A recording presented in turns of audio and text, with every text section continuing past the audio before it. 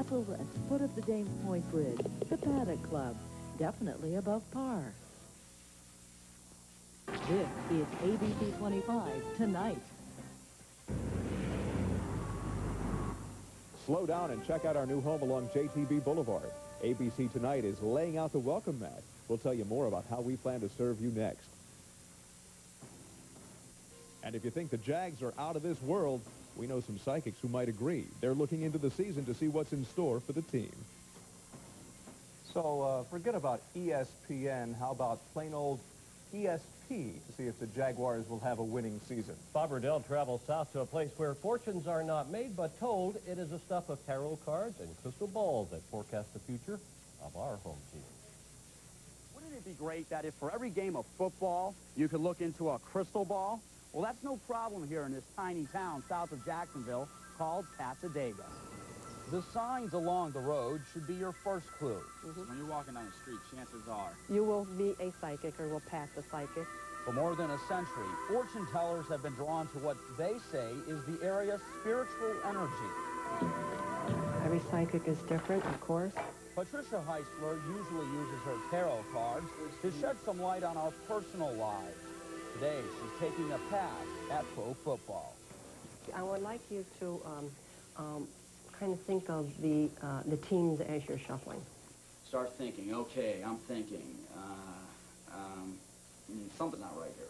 Would you cut that out, please? Well, let's draw on Jack, Jacksonville, the Jags. In particular, Patricia's focusing on Jags quarterback Rob Johnson. It looks like bad news. He has aches and pains in his hips.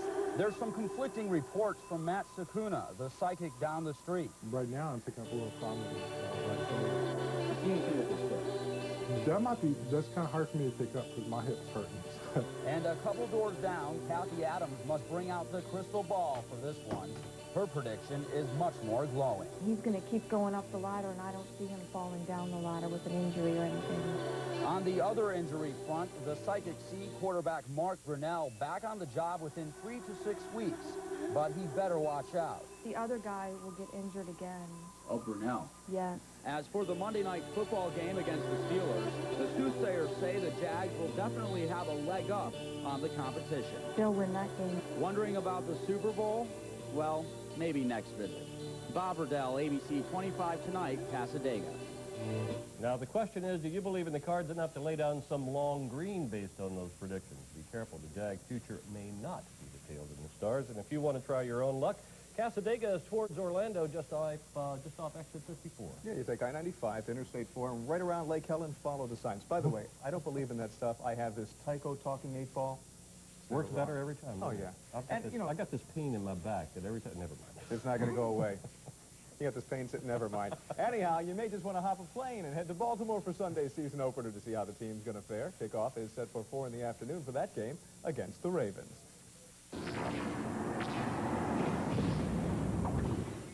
And don't forget, ABC 25's Monday Night Football Party. You are invited. It happens September 22nd when the Steelers come to town.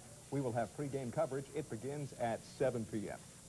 And it's time now for sports with Sherry Lowe, and Sherry's going to tell us all about that game against the Crows. Yeah, Mr. Johnson moves out of the shadows and into the spotlight. He is definitely going to be in the spotlight come Sunday, and, uh, you know, he's handling it pretty well. He seems pretty calm these days. Jaguars quarterback Rob Johnson, though, is under pressure. He makes his first start in an NFL regular season game this Sunday. Speaking of pressure, Johnson is sure to meet up with more than his share from a Baltimore Ravens team expected to be on the blitz. Rob Johnson is known for his laid-back attitude. He certainly doesn't talk like a man who in just four days will make his first regular season NFL start against the Baltimore Ravens. Yeah, like I said, it's really early on, and uh, haven't really got a great feel for him yet. So uh, later in the week, I'll start hopefully getting more confident. Well, Rob's had the opportunity to play significantly in all four preseason games, and uh, and he certainly has uh, demonstrated the ability to throw the ball, to make plays, uh, uh, you know, under pressure, to uh, to make different types of throws. So uh, this is a whole new experience coming. Coming on strong will be the Ravens, who are expected to go on an all-out blitz attack. I would expect in the locker room prior to the game they'll blitz. They'll blitz from the bus. So it'll be a whole different game than, than preseason. The Jaguars are undefeated in preseason. The Ravens are 0-4. The two teams met twice in 1996. The Jaguars have the sweep. I tell you, the offensive line has their work cut out for them. And I tell you, Leon Searcy and Tony Boselli are two guys who get very upset if anyone gets by them and gets to Rob Johnson. About two people I would make, want to make angry anyhow. No, no. two guys you don't want to want to tick off, definitely. Good enough, Sherry. Thanks. Every time you go to the stadium, you see them and you hear them, but you never appreciate what they do. Not so our Beth Meckley. She caught a piece of ordinary game day activity in the lens of her camera. This is what developed. Program! It's a game day program, $5. People have to have a program to tell the players. They don't have a program, they can't tell the players. Program!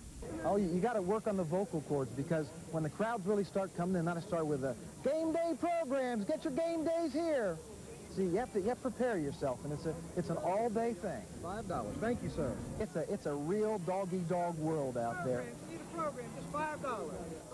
We're in real competition.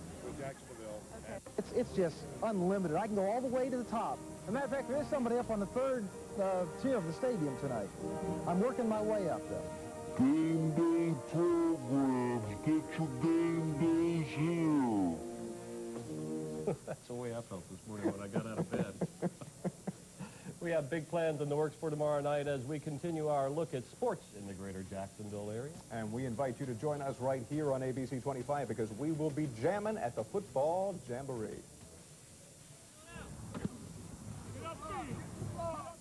You'll have a front row seat at Jacksonville's biggest showcase for future football stars. But what happens when the field of dreams gets dangerous? Athletes can turn to their own health specialists. That's all coming up tomorrow right here on Jacksonville's only local magazine, ABC 25 Tonight.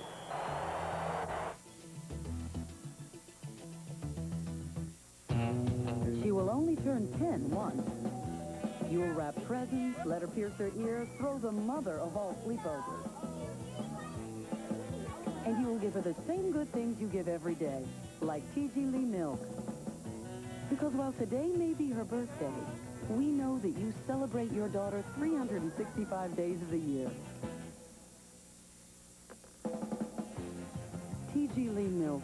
You wouldn't give them anything less. ABC 25, ABC 21, and your neighborhood Winn-Dixie want to raise your hurricane IQ. What's the difference between a Hurricane Watch and a Hurricane warning? What do I do with my pet if we're evacuated for a hurricane? What should I do to protect myself and my family? Is there anything I can't bring to a shelter? Any other suggestions? Be prepared, be informed, and be safe. Stop by your neighborhood Winn-Dixie for your free hurricane tracking chart provided by Winn-Dixie, ABC 25 Jacksonville, and ABC 21 Brunswick. Personal care and attention. It's important for a child in a classroom. It's important for parents in the home. And it's important to me and what I do for a living. I'm Eddie Farah. At the law offices of Eddie Farah, we represent consumers and people injured in accidents. We think how many clients, cases, or attorneys a law firm has isn't what's important. What is important is what we can do specifically for you, your family, your set of problems. At the law offices of Eddie Farah, we're all about help, not hype. It all adds up, one bill at a time, until it's more than you can handle. Let Common Point Mortgage use your home equity to avoid bankruptcy and consolidate your bills down to one easy monthly payment, or provide the additional cash you need right away, even if your credit is in question. Call Common Point Mortgage toll-free for same-day loan approval and set your mind at ease. If you are joining us for our premiere week on the air, perhaps you have been a bit curious about who we are, where we came from, and where we are going. We are ABC 25 in Jacksonville, and watch us grow. Sparks are flying every day at our new building on J. Turner Butler Boulevard. When finished, it will be state-of-the-art, all digital equipment, a showplace. Until then, we are operating out of temporary studios, but our commitment is to producing a great program with great people. I'm a photojournalist here and looking forward to bringing home the story. Our folks are from throughout the country. Uh, I come from a world tour of uh, stations around the country and uh, specifically last in New Jersey. Some are from Jacksonville, have lived and worked in the community. have history here. Hi, my name's Bill Biggert. I've uh, been in television since 1958. Others bring a world of experience to ABC 25. I'm Lewis Robertson from California, but I live in Jacksonville. Our staff and management are committed to bringing you the best now and as we grow.